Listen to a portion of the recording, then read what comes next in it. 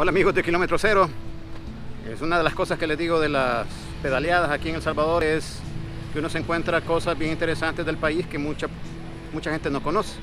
En este caso encontramos el único monumento que hay en El Salvador a la descendencia afroamericana. En este caso es el monumento a la liberación de la esclavitud. Específicamente es un monumento a José Simeón Cañas, quien fue uno de los promotores de la liberación, no solamente de los esclavos en, en El Salvador, sino que en Centroamérica. Pero hay una cosa interesante, aquí nos encontramos a Hugo Miller, quien es afrodescendiente. Él ha, sido bastante promotor de la celebración anual en la última semana de, de agosto de la celebración de la, de la afrodescendencia en El Salvador. Nos va a explicar así brevemente qué es esta, qué significa este monumento para El Salvador.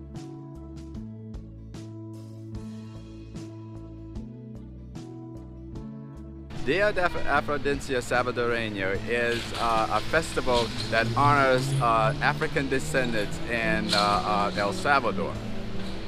What has happened over the years is that it has become a, larger as we have gotten many, many uh, countries to come and also represent and, and also pay homage to African descendants, not only in San Salvador, but in all Central America. Yo creo que es importante eh, el sentido de eh, cómo Zacatecoluca retoma eh, la cuestión de, la abolición de la esclavitud, obviamente porque José Simeón Cañas es hijo de Santa Lucía Zacatecoluca y, es un gran personaje en ese sentido, ¿verdad? Todos conocemos el discurso de José Simeón, José Simeón Cañas, ¿verdad? En que dice, vengo arrastrándome y esto, esto y lo otro y eh, es importante en, el sentido de Centroamérica porque es, es un, eh, digamos, un san salvadoreño de Zacatecoluca el que está interesado en la libertad de, los esclavos, de la gente esclavizada en Centroamérica. De hecho, eh, este espacio de, la, de la plaza de, de José Simeón Caña, la Plaza Caña, en Zacatecoluca, como otros espacios, uno en y el otro en la iglesia del Pilar, son parte de la, de la ruta de la gente esclavizada eh, por parte de la UNESCO, ¿verdad? que se está trabajando porque son elementos simbólicos, pero es también parte de la memoria. I finally found an image in uh, El Salvador that exists of African descent. And nothing like this exists in El Salvador. So I placed it out on YouTube internationally. And I got, oh, hundreds and hundreds of hits. And it was, most of the hits were from uh, people from El Salvador who never knew something like this exists. And here in Zacatecoluca, they walk past it every day, but they never knew the history of it. Ese monumento eh, es algo interesante porque ese monumento lo hace un, eh, un extranjero, Benjamín Saúl, y él tiene la idea de que los que se liberan en esclavitud son africanos. Por eso es que él hace la figura del africano. Y entonces, aunque ahí no diga que es la liberación de los esclavos africanos, o sea, las esculturas son dos, eh, son tres esculturas, pero dos que se refieren a un hombre africano liberándose y una mujer africana con su hijo liberándose. Entonces, esa es eh, el, yo creo que es el monumento por excelencia del Salvador de la liberación de, de la esclavitud y de los africanos.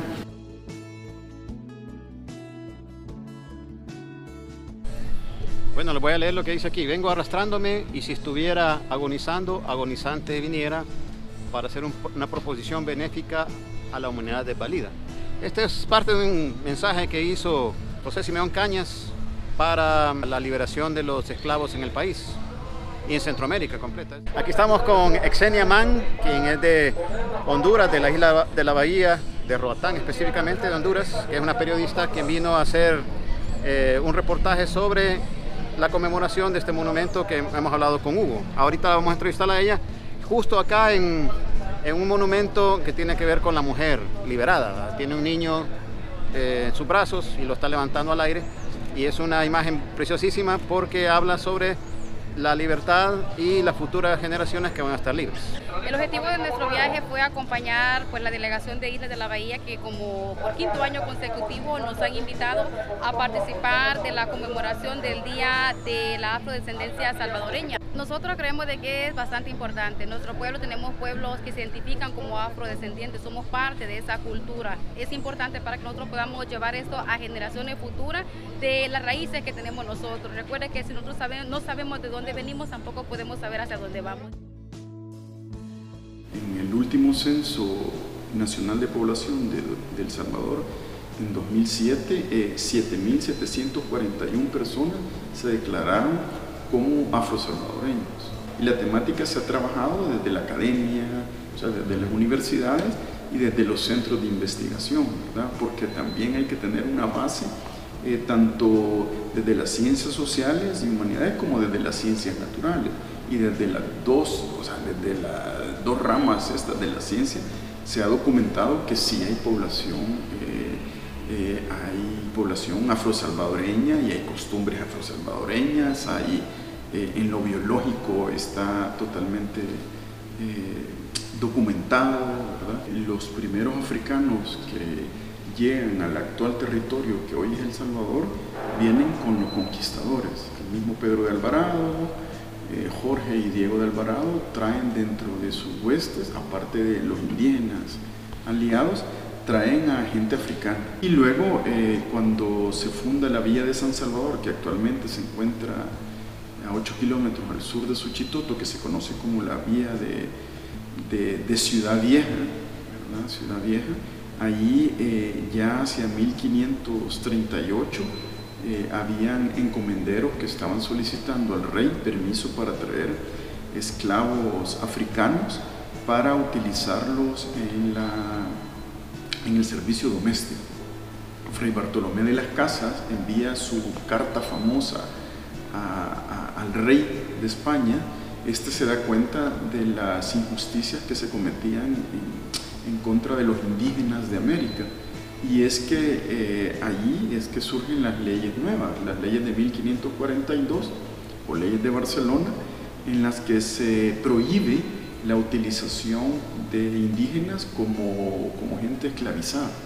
Entonces dicen, bueno, entonces ¿cómo vamos a producir eh, cómo vamos a extraer, extraer perdón, el oro de las minas, la plata, cómo vamos a producir eh, las cantidades de, los otros productos que tienen que ver con, el, comercio exterior, eh, ni más ni menos que con la importación de, esclavos.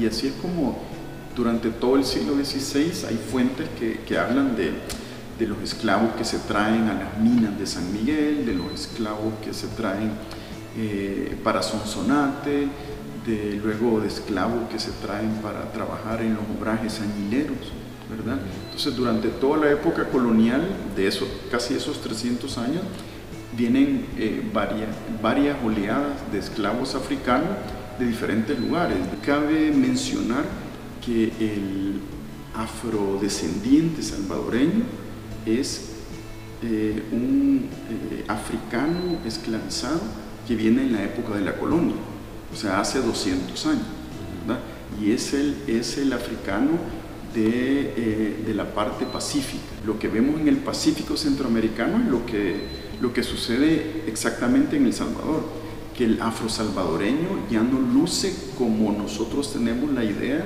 de, de cómo debería ser el africano sino que ya han pasado 200 años de, un mestizaje, entonces ya no, ya no es el fenotipo, ¿verdad? El fenotípico de, lo que nosotros pensamos que es el, africano que vemos en la costa atlántica. Eh, sin irnos muy, lejos, aquí el barrio La Vega era el barrio de los mulatos y los negros de San Salvador, ¿verdad? Y cada, en cada ciudad o en cada vía, pues había un barrio de negros, a menos que sea alguna vía solamente de indígenas. Entonces, la labor hoy en día es eh, presentar dónde están esos afrosalvadoreños, eh, eh, cuáles son sus prácticas culturales, cuáles son sus tradiciones, dónde lo vemos en las fuentes coloniales o cómo, o por qué es que la gente dice, bueno, ¿por qué es que desaparece? O sea, desaparece en nuestro imaginario, porque es una construcción eh, del siglo XX en la cual es un blanqueamiento el que favorece. O sea, hay que ser blanco, hay que ser... Eh, eh, hay que dejar de ser indígena, hay que dejar de ser negro, porque si sos un, elemento, si quieres estar en la civilización, si quieres entrar al progreso, tenés que dejar de ser todo eso, ¿verdad? porque es negativo, ser indígena, ser afrodescendiente, es ser negativo. Entonces, como le, como le comento, es una construcción social y cultural que viene de, inicios del siglo XX. Eh, resulta que siempre nos enseñaron acá, a todos nosotros que, que, estudiamos la primaria en El Salvador y todo eso, nos enseñan que, eh, que José Simeón Cañas es el libertador de los esclavos. Pero ¿cuál es esclavo? Nos pintaron que los esclavos eran los esclavos indígenas. Y los indígenas habían dejado de ser esclavos, esclavos como tal en el sentido de la institución de la esclavitud, porque era una institución en 1542. se trataba de la esclavitud de africanos.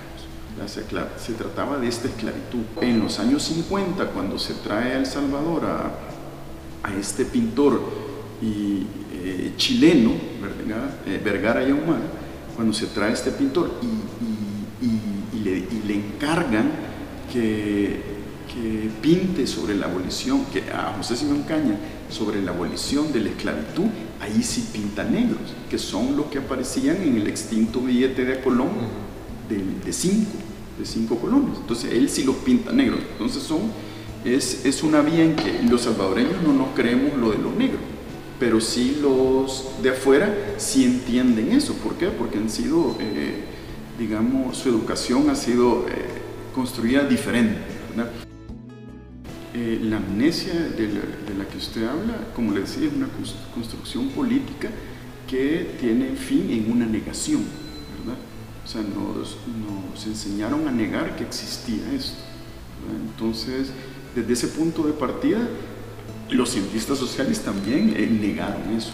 O negaron, o por lo menos si lo vieron, era, no, le, no le tomaron importancia.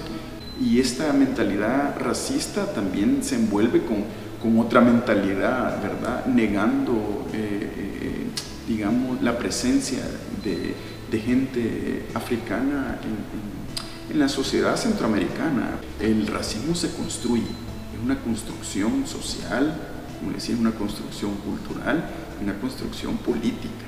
La palabra racismo suena como bien fuerte, pero es, eh, también podemos tomarlo como exclusión a los otros, al que no nos gusta por algo, ¿verdad? Porque en, en, ese, en ese sentido, pues eh, va una exclusión al otro que porque es pobre, o al otro porque tiene, o al otro porque es negro, o al otro porque es blanco, al otro. Entonces, de repente nos hallamos con, una, con un arco iris de exclusión, y por eso le decía, lo que, lo que hay que ir eh, formando es que la diversidad es, lo rico que tiene una sociedad. ¿Qué tenemos que hacer eso para que no exista eso? Bueno, educar en, que nuestros hijos conozcan que existe una diversidad de gente, una diversidad de cultura, una diversidad de, género, una, una diversidad de, de, de pensamientos, ¿verdad? Pero cuando nos dicen de que esto es lo único bueno, ¿verdad? Y esto es malo, entonces ahí estamos, estamos eh, creando niños jóvenes racistas y entonces al final y al cabo eh, su mamá o su papá le dice, mira, cuidadito que vayas a venir de novio con una negra o con una indígena, ¿verdad? Pues ya no tienen que, que, ir por la vida ahí repitiendo el mismo, el mismo canto, ¿verdad? De que en El Salvador no hubo o no hay gente de ascendencia africana, porque estaríamos negando eh, la gran tercera raíz de, de nuestra sociedad, que las tres grandes raíces son indígena, eh, africana y española, o europea, digamos, esas son las tres grandes raíces. Hola amigos de Kilómetro Cero 503, les saludo desde acá, desde el Museo Nacional de Antropología en San Salvador. Como ustedes podrán haber visto, este capítulo no era mucho de ciclismo, pero sí era de algo bien importante de conocer nuestra historia. Mientras nos sigan mintiendo sobre la historia o no conozcamos bien la historia, cometeremos errores que siempre hemos cometido como sociedad. Y es necesario que nosotros sepamos la historia, conozcamos la historia y conozcamos nuestras raíces para ser una mejor sociedad en el futuro. Así que no se lo olvide de pedalear y seguir siempre al kilómetro 0 503.